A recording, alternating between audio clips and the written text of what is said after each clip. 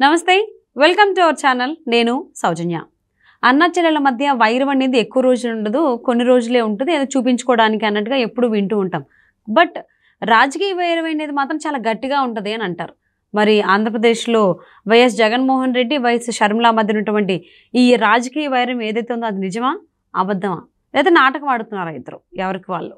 ఈ అంశానికి సంబంధించి మనతో మాట్లాడడానికి వారి విశ్లేషణని మనతో పంచుకోవడానికి ఈరోజు మనతో పాటు ఉన్నారు senior journalist senior political analyst CS Rao garu ఉన్నారు. వారితో మాట్లాడదాం.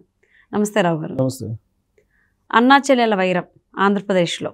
YS Jaganmohan Reddy YS Sharmila.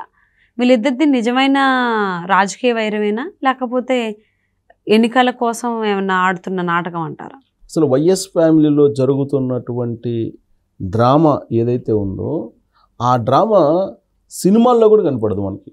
సినిమాల్లో కూడా నాకు తెలిసినంత వరకు ఇప్పటి వరకు ఏ రైటర్ కూడా అంత ఆలోచన వచ్చి ఉండదు ఇలాంటి ఫ్యామిలీ ఆ ఫ్యామిలీ డ్రామా ఫ్యామిలీలో పొలిటికల్ డ్రామా ఈ స్థాయిలో నడిచింది ఈ యాంగిల్లో నడిచింది అని చెప్పేసి ఎవరు ఎక్స్పెక్ట్ చేసి ఉంటారు నెక్స్ట్ బహుశా. స్టోరీస్ నెక్స్ట్ బహుశా రావస్తూ ఆల్రెడీ వివేకం సినిమా వచ్చింది కదా. దానికి మళ్ళీ సీక్వెల్ ఏమైనా వస్తుందో తెలీదు. బట్ అక్కడ అసలు షర్మిల జగన్మోహన్ రెడ్డి ఇద్దరు ఒకటేనా వేరువేరా అనేది ఇప్పటికీ చాలామందికి సందేహం. వీళ్ళిద్దరూ ఎవరు గేమ్ వాళ్ళు ఆడుతున్నారా? మధ్యలో అవినాష్ రెడ్డిని బకరా చేస్తున్నారా? అనేటువంటి సందేహం. అసలు ఇంకో క్యారెక్టర్ ఉంది విజయమ్మ. అసలు విజయమ్మ ఏమో ఒక పక్క జగన్మోహన్ రెడ్డికి ఆశీస్సులు ఇచ్చి ఆయనకు ముద్దు పెట్టి కుమారుడికి మా బిడ్డను ఆశీర్వదించండి ఇంకోసారి అవకాశం ఇవ్వండి అని చెప్పి ప్రజల్లోకి పంపించింది బస్ యాత్రకి. ఆవిడే నా నా కూతుర్ని ఆ- ఆశీర్వదించండి. మీ ఆశీస్సులు నా కూతురికి కావాలని చెప్పి ఈయన్ని దీవించి పంపించింది. షర్మిల షర్మిల షర్మిలని. సో ఇద్దరిని ఒకవైపు ఏమో బస్ యాత్ర చేయమని చెప్పి కొడుకుని పంపించింది. ఇంకొక వైపు ఏమో కూతుర్ని కడపలో ఎం లోక్సభ స్థానం నుంచి పోటీ చేస్తున్న ప్రచారానికి వెళ్ళేటప్పుడు దీవి దీవించి ఆశీస్సులు ఇచ్చి పంపించింది. మరి అసలు ఆమె ఏం చెప్తున్నట్టు ప్రజలకి?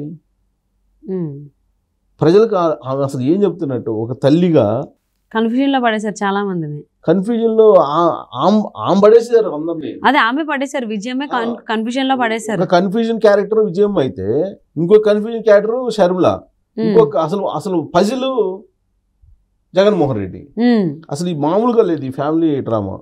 అసలు ఇది క్రైమ్ థ్రిల్లర్ ఫ్యామిలీ డ్రామా అనాలా లేదా పొలిటికల్ థ్రిల్లర్ ఫ్యామిలీ డ్రామా అనాలా? లేదంటే పొలిటికల్ క్రైమ్ మిస్టరీనా? అసలు ఏ ఏమనాలో అర్థం కావట్లేదు. సో ఇక్కడ మళ్ళీ భారతిరెడ్డి భారతిరెడ్డి ఆవిడేదో మొత్తం చక్రం తిప్పుతుందని చెప్పి చెప్పేవాళ్ళు కొంతమంది. అవును ఆవిడ మీద తిప్పుతున్నారు. సునీతారెడ్డే చెప్పింది నేను చెప్పడం కాదు. సునీతారెడ్డే చెప్పారు ఆ విషయం. ఎవరు భారతిరెడ్డి మొత్తం ఆవిడే చేస్తుంది అని చెప్పి డైరెక్ట్గా ఆవిడే చెప్పింది కదా. తర్వాత అవినాష్ రెడ్డి. అవినాష్ రెడ్డి మొత్తం ఈ హత్యకు కారకుడు అని చెప్పి చెప్తున్నారు. సరే వైఎస్ఆర్ కాంగ్రెస్ పార్టీ నుంచి అవినాష్ రెడ్డి ఎంపీగా ప్రచారం చేస్తున్నారు. షర్మిల కాంగ్రెస్ పార్టీ నుంచి ఎంపీగా ఆవిడ ప్రచారం చేస్తున్నారు. అత్యంత కూలీకోర్లు వీళ్ళు అని చెప్పి చెబుతుంది ఆవిడ.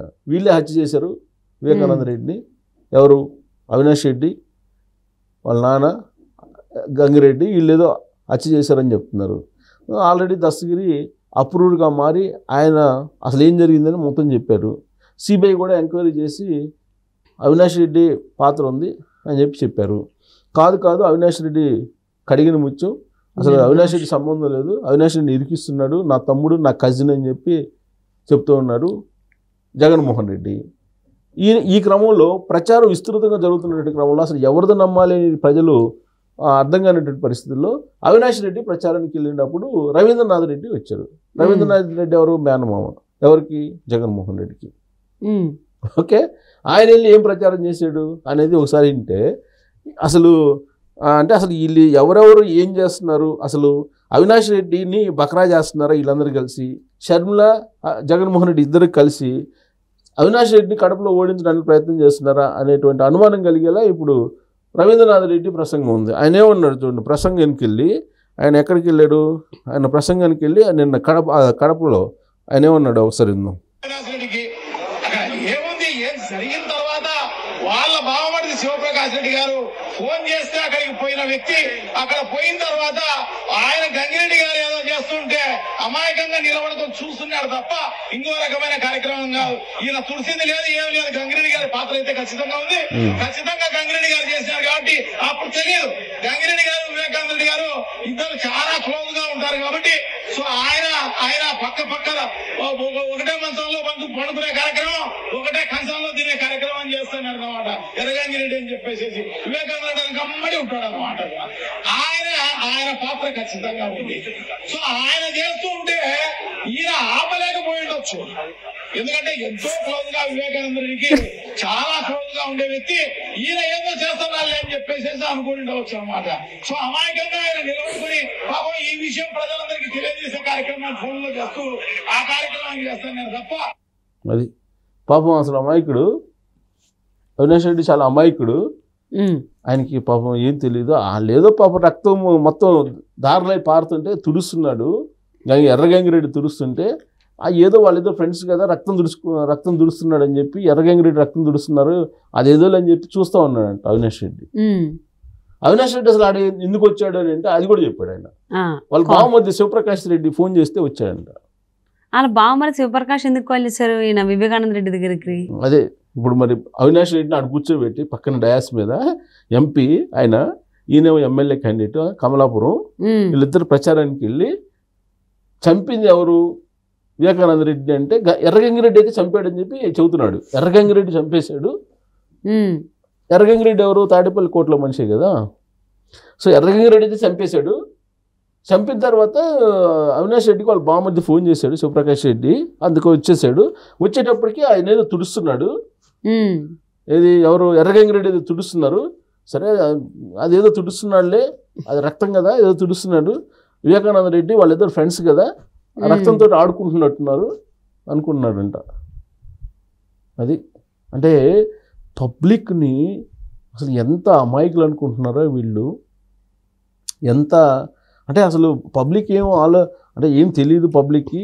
మనం. ఏం చెప్పినా వింటారు అని చెప్పి అనుకుంటున్నారో లేకపోతే ఏంటో అర్థం కాల ఇంకోటి ఏంటంటే విన్న తర్వాత నాకైతే ఏమనిపిస్తుందంటే ఉమ్, ఇప్పుడు ఈయన రవీంద్రనాథ్ రెడ్డి జగన్మోహన్ రెడ్డి మేనమావని ఆ మధ్యకాలంలో గ్రాఫ్ బాగలేదని చెప్పి అందరిని పిలిపించి నీ గ్రాఫ్ బాగలేదు నీ టికెట్ లేదని చెప్పి చెప్తున్నట్టు అప్పుడు ఈయన కూడా నీ గ్రాఫ్ బాగలేదు ఈసారి నువ్వు వేరే వాళ్ళకి అవకాశం ఏం చెప్పి అంటే నీ గ్రాఫ్ బాగుందని చెప్పేసి ఏదో ఈయన జగన్మోహన్ రెడ్డి కానీ ఏదో అనుకున్నారు ఇద్దరి మధ్య అనేది. ఒకటి అప్పట్లో వినిపించింది. ఇప్పుడు ఈయన అవినాష్ రెడ్డికి మద్దతుగా ప్రచారం చేస్తున్నాడా? లేకపోతే వ్యతిరేకంగా ప్రచా- ప్రచారం చేస్తున్నాడా? నాకైతే అర్థం కావట్లా ఆ మాటలు వింటే. అంటే జగన్మోహన్ రెడ్డి చెప్పకుండానే ఈ మాటలు మాట్లాడతాడా? వాళ్ళ మేనమామ కదా? మాట్లాడు. అంటే ఈయన ఈయనకి తెలిసే ఉంటది. ఆయన కూడా కుటుంబ సభ్యులే కదా.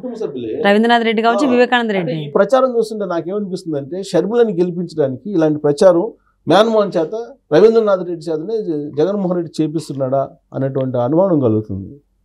సో మళ్ళీ వివేకానంద అన్న- చెల్లెలు ఇద్దరు కలిసి ఒక గేమ్ ఆడుతున్నారు. ఇప్పుడు ఒక తెలంగాణలో ఒక గేమ్ ఆడారు. అయిపోయింది అది. ఆ గేమ్ అయిపోయింది. చాప చుట్టేశారు. చాప చుట్టి వైఎస్ఆర్ తెలంగాణ పార్టీని కాంగ్రెస్లో విలీనం చేసి కాంగ్రెస్ని మళ్ళీ అక్కడ తీసుకెళ్ళారు. అక్కడ తీసుకు ఒక పాత్ర క్రియేట్ చేశారు షర్మిలకి. అక్కడ కాంగ్రెస్ ఏపీ అధ్యక్షురాలుగా వెళ్ళి ప్రచారం చేస్తుంది. ఎంపీగా పోటీ చేసింది కడపలో. కడపలో పోటీ చేసిన క్రమంలో జగన్మోహన్ రెడ్డి మీద విచ్చుకుపడుతున్నారు వాళ్ళు. మధ్యలో అసలు చంద్రబాబు నాయుడు పాత్ర? చంద్రబాబు నాయుడు ఎందుకు చంద్రబాబు నాయుడు కుట్రఉంది అంటాడు? ఎవరు? జగన్మోహన్ రెడ్డి. ఎందుకు? షర్మిలకను సునీతారెడ్డికి సపోర్ట్ చేస్తున్నాడు. ఆ కేసు తేల్చమని అడుగుతున్నాడు. అడిగినందుకు నేను కుట్రుందని చెప్పి జగన్మోహన్ రెడ్డి చెప్తాడు. కానీ వివేకానంద రెడ్డి గారి హత్య కేసులో ఎక్కువగా అంటే ఎవరెన్ని చెప్పినా ఒకళ్ళు చూస్తున్నారన్నా ఆయన చంపించాడన్నా అధికారం కోసం ఏదైనా కానీ అవినాష్ రెడ్డి పేరు అయితే గట్టిగా వినిపిస్తోంది. బట్ ఒక్కొక్కరేమో చూస్తున్నారని ఇంకొకరేమో ఆ- ఇలా ఏం చేయలేక సాయం చేయలేక సైలెంట్ ఉండిపోయాడని ఏంటేంటో మాట్లాడుతున్నారు. ఫ్లోలో ఎన్ని నిజాలు వస్తాయి ఏంటో తెలియట్లేదు. బట్ రాబర్ట్ మాత్రం నాకు జగన్మోహన్ రెడ్డి షర్మిల ఇద్దరు కలిసి గేమ్ ఆడి అవినాష్ రెడ్డిని బకరా చేస్తున్నారేమో అనిపిస్తుంది. ఆవిడ కూడా ఎక్కువ హంతకులకే మీరు అధికారాన్ని కట్టబెడతారా? భారతిరెడ్డి కూడా భారతిరెడ్డి వీళ్ళిద్దరు ఒక కుటుంబం సునీత. కదా భారతిరెడ్డి అని అవినాష్ రెడ్డి. ఒక కుటుంబం. సునీత్ కూడా అవినాష్ రెడ్డి పేరే తీస్తున్నారు కదా. అవినాష్ రెడ్డి పేరు తెస్తున్నారు. కానీ అవినాష్ రెడ్డి సేవ్ చేయడానికి భారతీయ ప్రయత్నం చేస్తున్నారు అని చెప్పి కదా. ఇప్పుడు ఇప్పుడు రెండు ఫ్యామిలీస్ ఇక్కడ. YS family other than YS family. అంతే కదా వాళ్ళ బంధువులు. ఎవరు? భారతిరెడ్డి సమ్ రిలేటెడ్ ఇది. Bhaskar Reddy family. So YS అది కూడా అన్నదమ్ములే వైఎస్ ఫ్యామిలీ అది కూడా. అంటే కజిన్స్ ఫ్యామిలీలో ఫ్యామిలీలోనే ఇన్ని వినపడుతున్నాయి వాళ్ళకి తెలిసినంతగా బయట ఎవరికీ తెలియదు బట్ కాపాడడం కోసం లేకపోతే ఈయన పేరు కాకుండా మళ్ళించడం కోసం చెప్తున్న మాటలు ఎలా ఉన్నాయంటే ఫ్లోలో నిజాలు బయటకు వస్తున్నట్టు అనిపిస్తుంది. గెలిపించడానికి ప్రచారం చేస్తున్నట్టున్నారు. అదే ఫ్లోలో నిజాలు వస్తున్నాయేమో అన్నట్టుగా అనిపిస్తుంది. బట్ దీన్ని బట్టి చూస్తే ఆయన ప్రజెన్స్ అయితే మర్డర్ జరిగి జరిగిన చోట ఉందని మాత్రం అర్థమైపోయింది రవీంద్ర రెడ్డి మాటల్లో. సో మరి చూద్దాం మరి రాబోయేటువంటి ప్రచార సభల్లో రోజుల్లో ఇంకెన్ని మాటలు మాట్లాడతారో వివేకానంద రెడ్డి గారి హత్యకు సంబంధించి వైసీపీ నాయకులు చూద్దామండి. And thank you so much SS Rao garu. Thank you